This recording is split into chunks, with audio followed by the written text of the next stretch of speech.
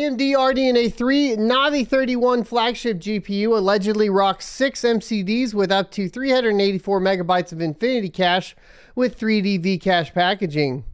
Brand new information regarding AMD AMD's RDNA 3 flagship GPU, the Navi 31, has been revealed by Kepler L2, according to which the chip can rock up to 384 megabytes of Infinity Cache in st standard and 3D packaging.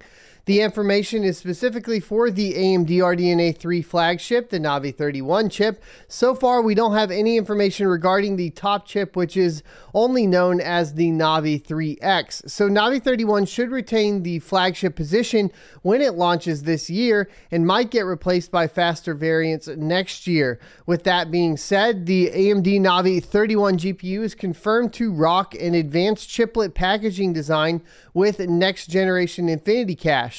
According to Kepler L2, who digs around various patches and logs within AMD's drivers, it looks like the Navi 31 GPU will be rocking up to six multi-cache dies.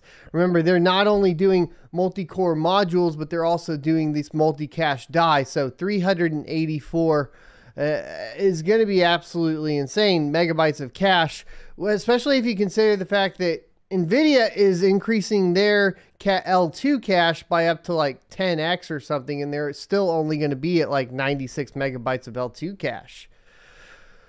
Each MCD allegedly features up to 32 megabytes of standard cache and will also come in 3D V cache flavors. This rounds up to 192 megabytes of standard cache, but the insider mentions that there will also be a few variants with 3D V cache, and those will go up to 384 megabytes of Infinity Cache. The Infinity Cache also comes in 32 megabyte size, half of what is featured on the Zen 3 3D V cache parts, 64 megabytes for reference.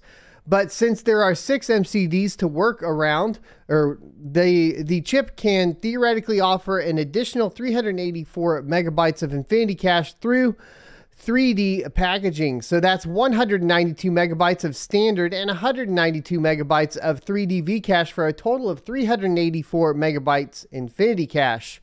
That's a 3x increase over the AMD RDNA 2 flagship, the Navi 21, which only features 128 megabytes of total Infinity Cache.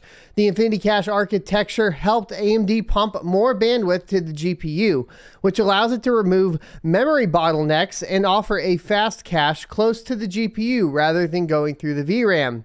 The uh, AMD Navi 31 GPU, the flagship RDNA 3 chip, would power the next generation enthusiast cards such as the 7900 XT.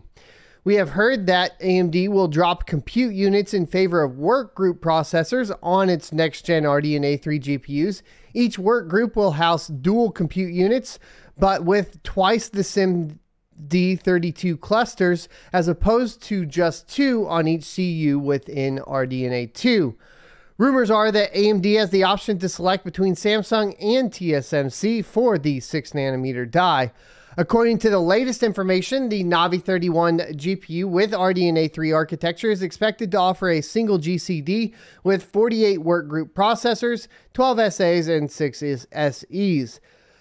This will give out a total of 12,288 stream processors, which is lower than the previous count. This will also drop the overall compute performance unless AMD goes crazy with over 3 gigahertz clock frequencies on its flagship part, which I think at this point we're pretty much expecting as far as frequencies go. Uh, from everything I've read. The Navi 31 GPU will also carry six MCDs, which will feature 32 megabytes of Infinity Cache per die, and are also likely to carry the 64 bit, 32 bit by 2 memory controllers that will provide the chip with a 384 bit bus interface. And that should be obviously welcome from the mining perspective because a larger memory bus means better performance on memory intensive algorithms. And that's what we're looking for. As for clock speeds, the AMD Navi 31 GPU is said to offer clock speeds that can hit or even exceed 3 gigahertz. NVIDIA's flagship GPUs are also said to offer close to 2.8 gigahertz clock speeds, but AMD has had a clear advantage in clock speeds over NVIDIA during the past generation, so it's expected to continue.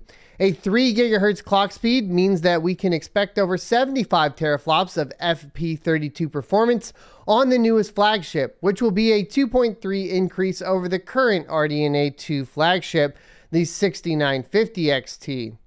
Now, this is going to result in higher power draw, and AMD seems to have confirmed that this much in that their next generation graphics card lineup will feature higher power consumption, but they will still be more efficient. The AMD RX 6950 XT already has a total board power of 335 watts. So for a greater than 2x performance gain, we can expect a final total board power for the Radeon RX 7900 XT to end up close to 400 to 450 watts. The cards are expected to launch later this year, as confirmed by AMD themselves. Now, here is basically Navi 10, Navi 21, and Navi 31 all compared together. And you have your multi chiplet die, which is the big change, obviously, on the 7000 series. You have basically an increase of 50% on the shader engines. You have 30 work group processors per MCD, so that includes a 60 in total. And then for the memory, which is what we're interested in, we are getting, well, they said we were going to get a bump to 384 bit, but here is showing 256 bit of GDDR6.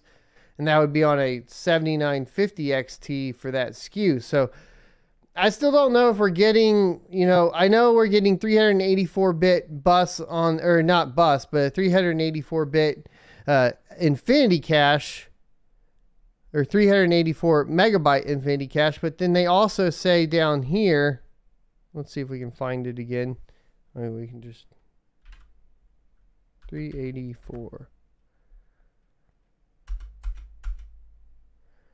384 bit bus interface right here.